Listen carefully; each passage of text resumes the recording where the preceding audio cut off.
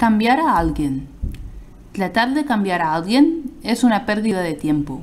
La sola idea de cambiar a alguien está expresando que no es lo suficientemente bueno tal como es y está empapada de juicio y desaprobación. Eso no es un pensamiento de agradecimiento ni de amor, y esos pensamientos solo traerán la separación entre tú y esa persona. Debes buscar lo bueno en las personas para hacer aparecer más de ello. A medida que observes solo las cosas buenas de una persona, te sorprenderá lo que tu nuevo enfoque revela.